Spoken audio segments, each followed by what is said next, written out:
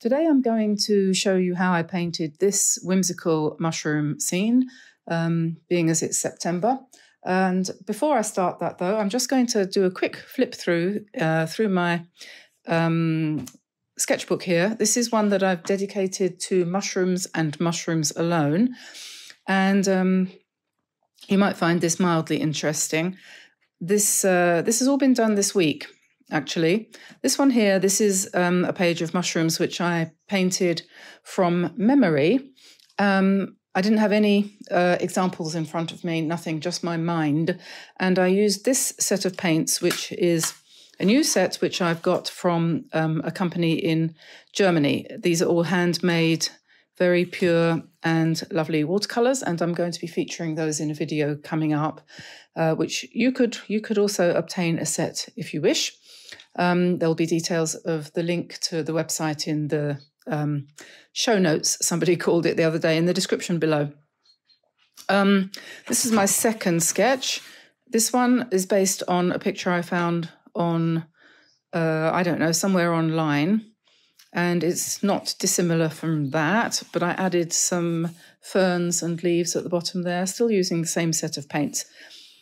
This one is a development of the same idea. I did the loose watercolor and then I um, just basically enhanced it a little bit using a Winsor & Newton sepia fine liner. This one was a 0.5. Uh, just going around the outside edges, I added some oak leaves as well as some ferny kind of greenery. Um, then this one here, um, I used my big nature book. This one here um, this is the AA Automobile Association Book of Nature, circa 1960. And in it, there's a page of fungi, which are available in England and Europe. So I used this as my guide for drawing these mushrooms. And honestly, I do think that it's better to go to a book for your source material if you don't have the actual object in front of you, better than going to Pinterest because on or online um, because you just don't know whether what you're looking at is true or real or in any way anything anything to do with nature. Yesterday, Tamsin was looking online for a, I think she was in um, something like Unsplash or Pixabay, one of those um, application. No, it was Google Picture, Google Google Images or whatever they call it. I don't remember. Anyway, whoever it was, and she was searching for a a cake that hadn't cooked properly. She wanted a photograph of one. And a picture came up which said, Oh, this is AI generated. This is a photograph, but it's AI generated. And it was a picture of a cake. And on the inside of the cake was a completely raw egg, although the outside was cooked. I mean, this is nonsense. That can't possibly happen.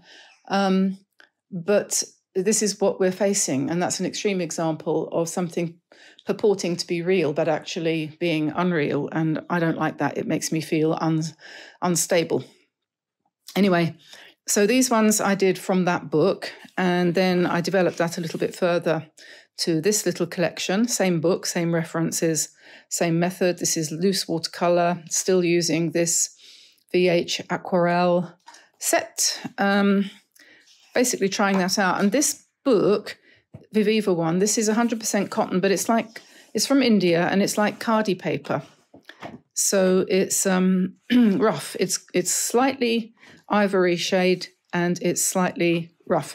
Now this one, I want to do a few more here. This is in watercolor pencil, which is quite nice. I don't do that very often, but uh, it is quite a pleasant thing to do. This one is in ink. Um, I used the Tombow um, brush pen there with its nice dark and light lines. And then I just shaded it in a little bit with watercolor pencil. Um, here I've got watercolor pencil again. I've gone away from mushrooms a little bit, but this is just a sort of study of, there's a bird there in a little bush and a study of leaves, which um, might want to uh, embellish the mushrooms at some point. And then I sort of switched into a whimsical mushroom arrangement, something along the lines of this. This is all preparatory work prior to doing the paintings that I do for the for the video. And then the most recent one is this one, which I did this morning. Um, again, just a page of shapes turned into mushrooms and then embellished with the pen. I used a 0.3 this time, uh, Winsor & Newton fine liner. So there we are. And I've still got, I think, about 10 pages. One, two, three, four, five, six, seven, eight, nine, 10 pages left in here to fill. And this is going to be a complete mushroom journal. And I'm hoping to finish that this coming week. And um, so now I'm going to, having practiced that, I'm going to um, have a go using these paints, these Viviva paints. I've got them sort of lying around here, scattered and we'll see what we can do. The idea is, I think, when you do a mushroom, um, you paint the top, or at least this is what I do, kind of loosely like that. And then you're going to want to put in the stalk like that. And then the underneath is going to be a different colour this part here. And then once that's kind of blended in a bit, you can do some details. And uh, we can, or you could do it the other way up. You could start with the stem and the underside, and then put the top. And then once you've done that, again, you can do some details. So we could um, doodle them, you know. So we could have a nice red one like that. And then he would have probably, I don't know what these mushrooms have in the way of stalks, but uh, something like that. Don't know what colour they are in real life, I mean, but doesn't matter, does it? So let's do another one.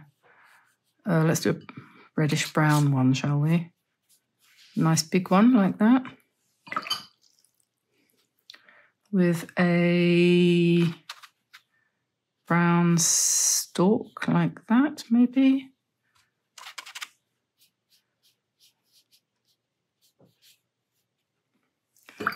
And then, uh, okay, let's have some tiny ones.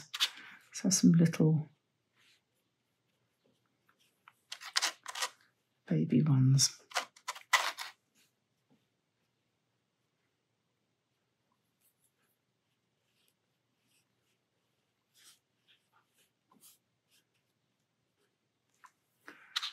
Some more here, perhaps.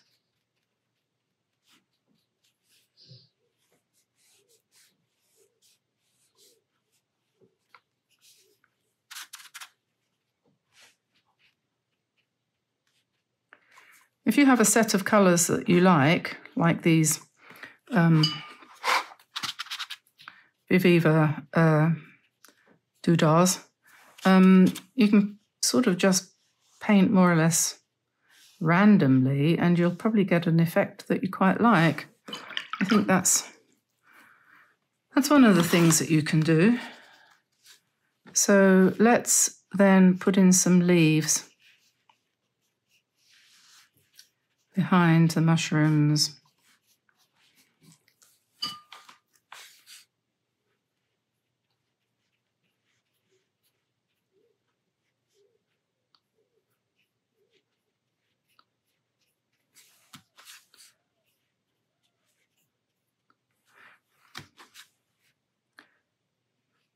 You can adapt this for anything really.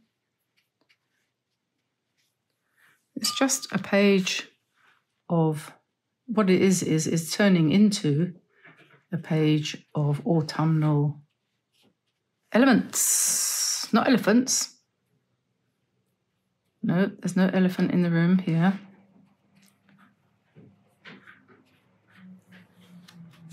I'm just using the Viviva Sap Green to do the background.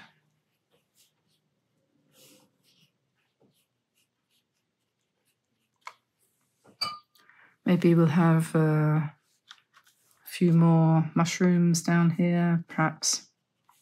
Or maybe we'll do some just some leaves actually. Perhaps we'll turn what was going to be mushrooms into into some fallen leaves. What do you think?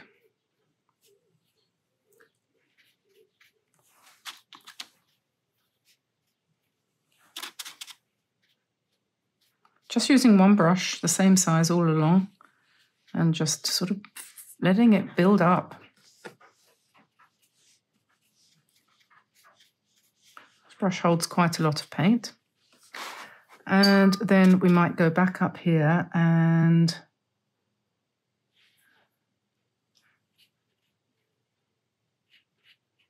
go over the top perhaps, perhaps a bit of red on this one.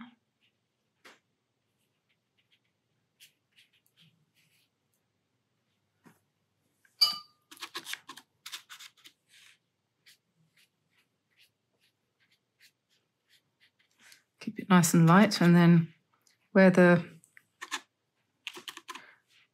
uh, stalk goes behind, you're going to want to make it a little bit darker there.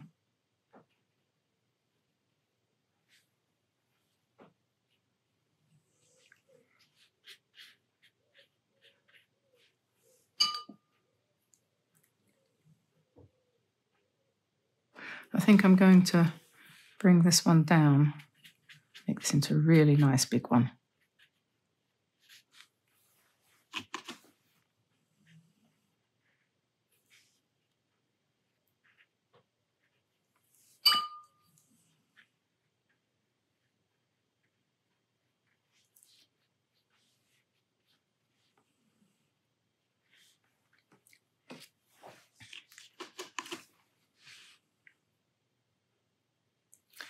coming in with some ink blue there to just do some veins.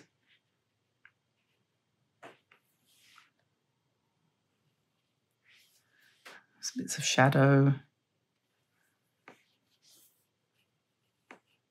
It's a good purple, which when you mix that with brown, that gives you uh, a much darker brown.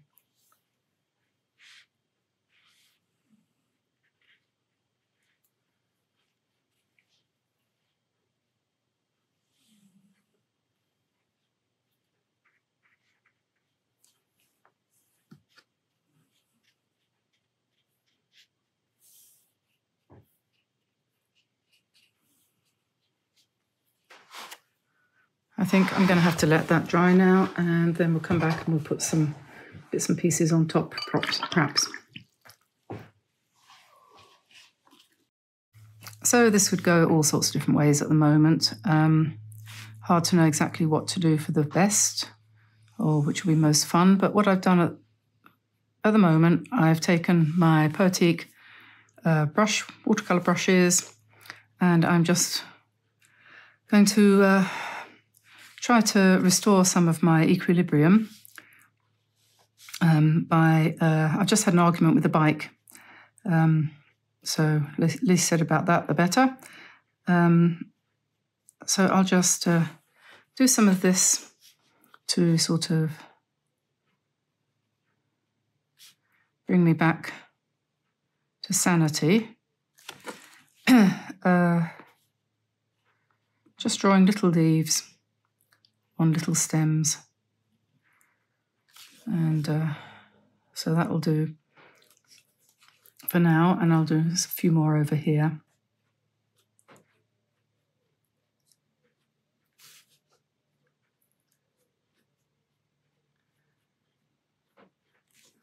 I suppose the thing is, you know, people talk about how painting calms you down and so on. And um, the but the problem is Yes, it does. It really does. But the problem is starting.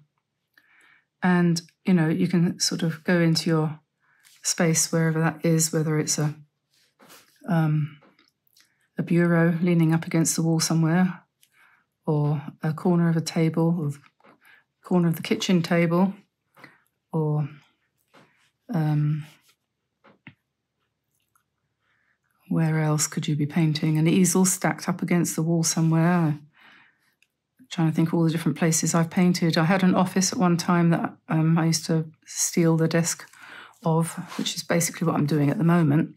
This isn't a proper art table. This is just a, an old kitchen table that I've uh, painted with white, uh, what do you call it, chalk paint, which I have to go over for every, every time, every now and again. And uh, yeah, so anyway, what am I talking about? I don't know, no idea. I'll shut up now. Um, yeah, calming down. Yes, that's it. See, that's the thing. It's easy to say, well, calming, uh, painting calms you down, but you've just you've got to actually start, and then you've got to think something to do, which I think is where YouTube comes in for a lot of people, isn't it? Because you go, oh, I'll find something to do on online, and then maybe you go to Pinterest and and you think, well, yeah, yeah, but but no. oh, I don't know. I don't know what to say, what to do, what to think. That's the wrong colour. It doesn't matter.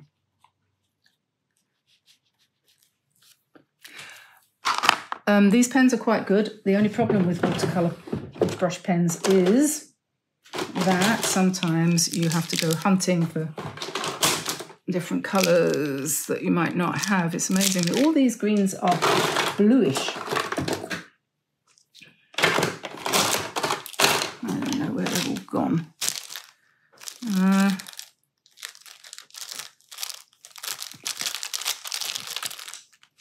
that one might work. I just want to put more veins and things and stems in, and it's too difficult using the brush. You can do it, but it's harder, and I prefer to do it this way. So put the veins in like this.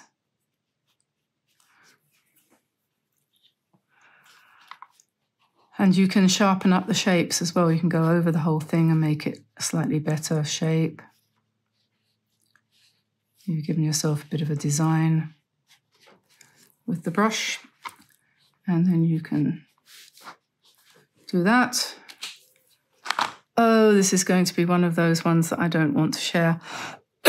Excuse me, but I will, nevertheless. I like the way a lot of mushrooms have got sort of little skirts near the top, haven't they? So we just put that in.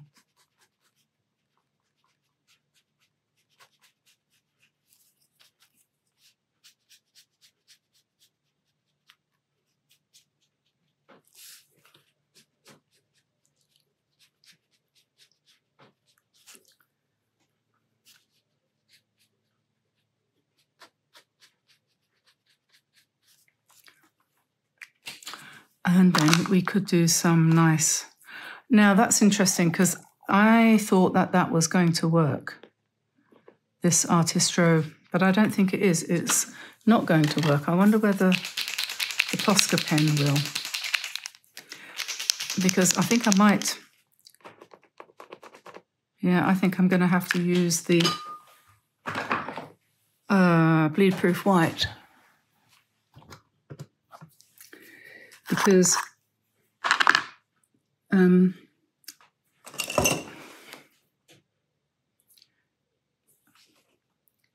this is going to be the only way to actually get white dots. Oh, maybe we won't even get white dots with this. This could be a problem with the um, Viviva. It could be they might just suck up the pigment from underneath. We'll see.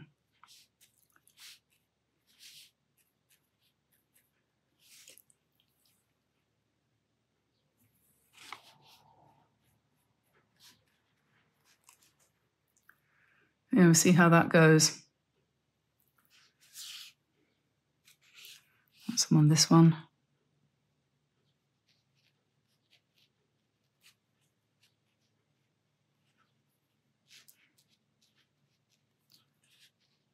That seems to be okay. I don't think it's sucking.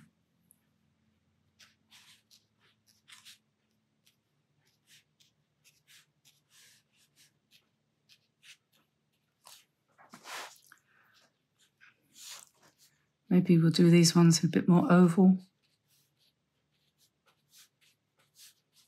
Oh, perhaps. Look very spotty, don't they? That will do, I think, for that. Hopefully that won't. I think it's better than using a pen. Definitely. So that's the PH Martins bleed proof white. That's quite good. And then um, I wanted to do some in red, some, no, it's not going to work in red. I have to do it in, I wonder if it work in brown.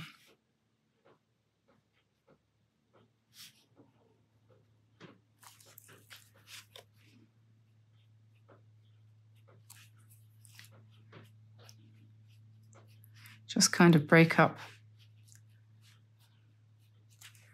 the edge of the mushroom because they do tend to, don't they? Somewhat like that. And then should we try to put some lines in for the gills?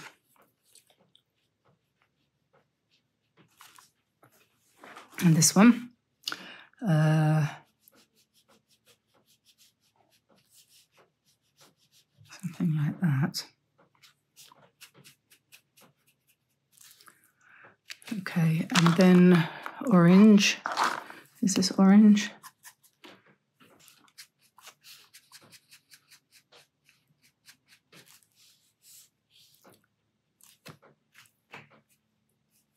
I think I want a slightly darker orange there. Well, actually, you know what? They're fine. We'll just put a little bit, a little bit in from place to place. I think they're fine, actually. Maybe their legs need a little bit of reinforcement, perhaps in some places.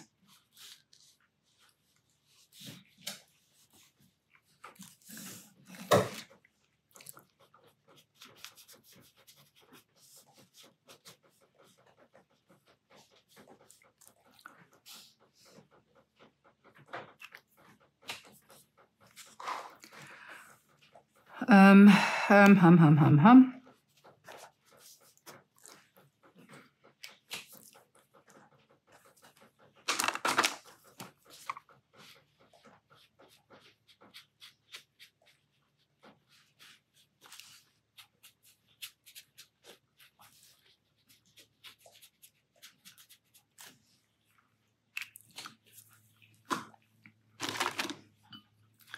Need to soften that line there a bit. I think a bit harsh.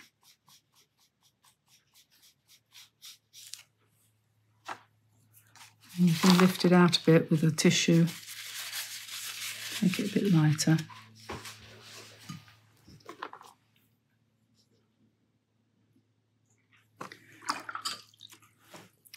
So I think I'm going to pick up a bit more green and come back if I can find some.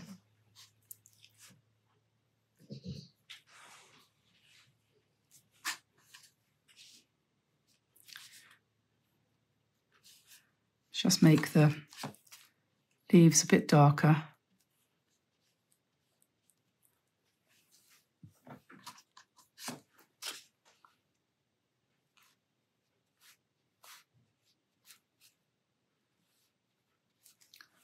And then probably want a few more.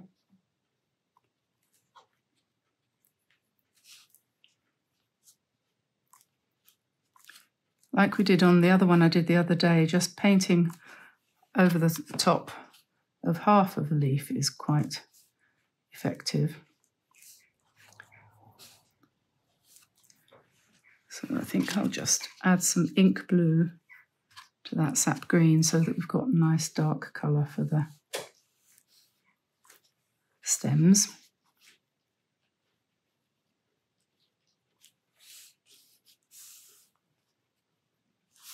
Maybe we'll put a few more shadowy leaves in.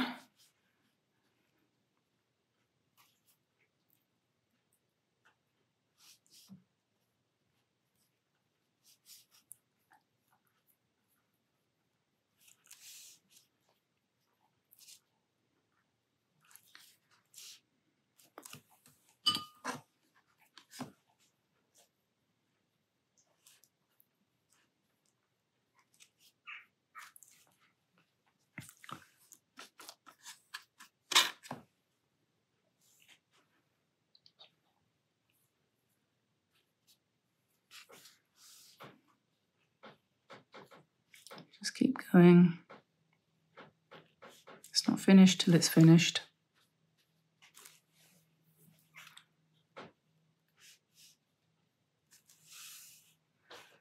And we, I think we'll put some white in at some point soon. Um, my brick red? A little bit of brick red in here. Break that up a bit. Is a good colour. So this is this is a carpet of autumn leaves.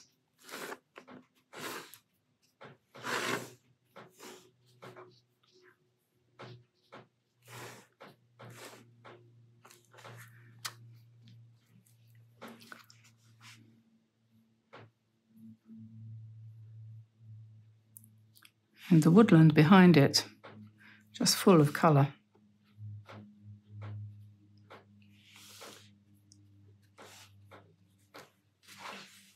So you can just have fun. Artistically or not, putting leaves everywhere and mushrooms. These could be mushrooms.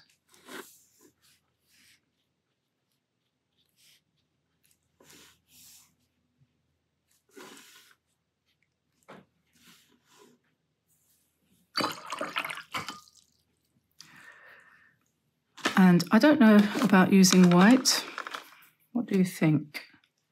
I think some of these leaves probably could do with a bit of white. I think those ones are still wet. So we better wait for everything to dry. Meanwhile, let's put some more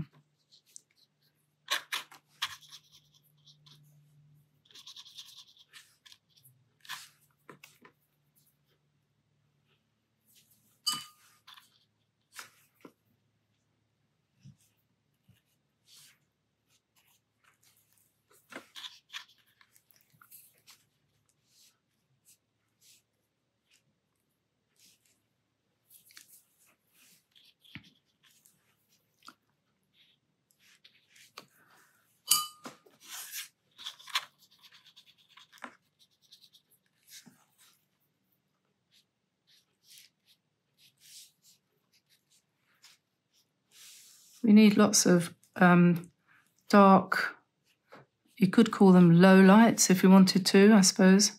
It's the opposite to highlight.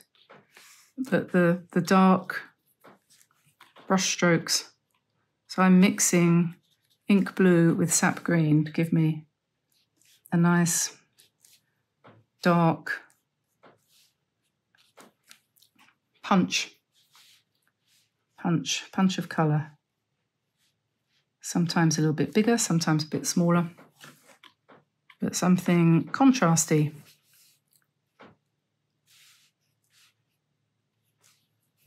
Nice and contrasty. I want to put some white in there in a minute. And if you can get your hand to release, I just fell over, I fell on my hand. That's what I was going on about the bike.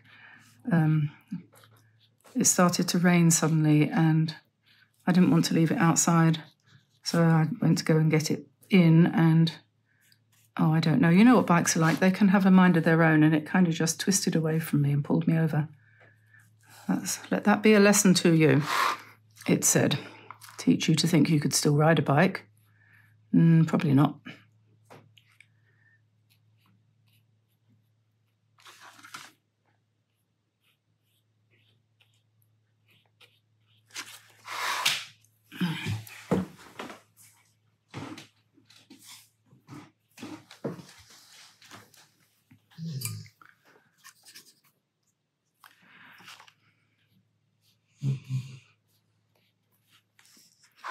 Okay, well, I think we're getting towards a point of, I think probably we do want a bit of white, if I can get it to work. On these skirts,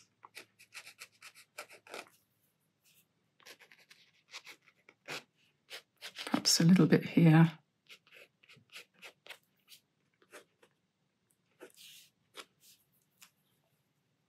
Uh, what else? Oh yeah.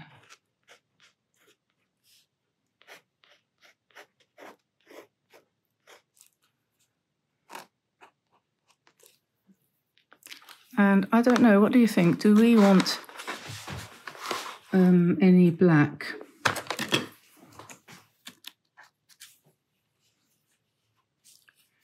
Do we want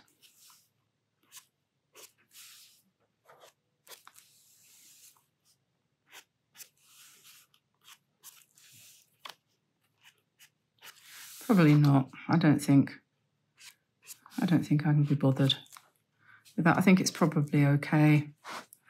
Maybe, I don't know, maybe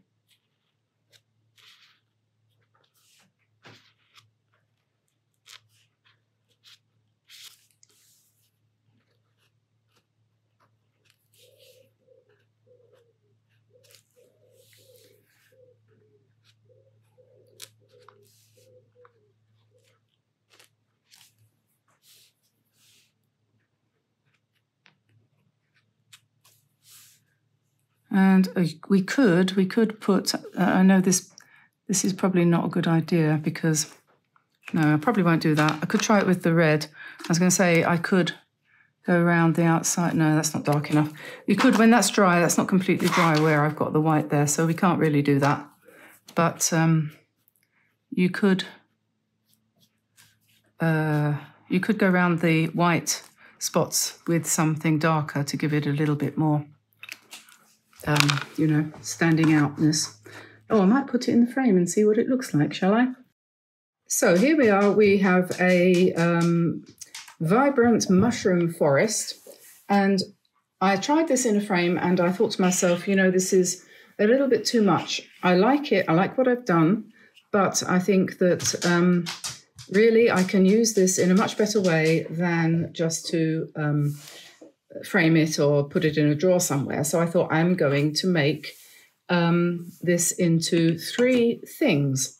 So first of all, I started off with um, a little mount here and I selected the bit of it that I thought would make quite a nice little picture. So this section here, I think, is, is what I want. What I did actually, I, I made a photocopy first of all and then I cut that up. So that's my photocopy, which told me which I, I've run out of blue ink. So it came out a funny colour, but that's fine. So I'm going to, first of all, cut that bit off of the painting and put that over there. And this will go in a little frame like that and that. So there we are, that's quite nice. Okay, so that's step one. That looks much better than the whole thing, which was a little bit too much. So, so that's my first part. And then, so that can go over there. And then second part, I should be using my cutting strip. Um, second part is to make a card. And we've got a little card here so I'm going to cut this piece out and make it into a card. So that'll be cutting about here. That. And then cut here. And then cut here. And then that will go nicely onto my card like that. So we glue that down and then we have a nice autumn greetings card number two. And then number three, of course, the perpetual bookmark piece that's left over. And I'm sure you've done this before yourself. And just trim that little bit there a little bit. And we can do a hole in the top. Like that. And cut a piece of string. I think string is quite nice for the tie on something like this because it's a bit more rustic, isn't it? And we'll just pop that through there. And lo and behold, we have a nice little set. Something like this obviously makes a nice little gift. So there we are. I've transformed that one painting, which was a bit too much, into three items, a painting, a card and a bookmark. And I hope you enjoyed that. It's one way of rescuing a painting that you feel has gone a little bit too far. So I'll let you go. Please give us a like and subscribe and turn on notifications. Don't forget to do that so that you get told when we have posted a new video. And uh, look forward to seeing you in the next one. So happy uh, back to school, everybody. See you again soon. Bye for now.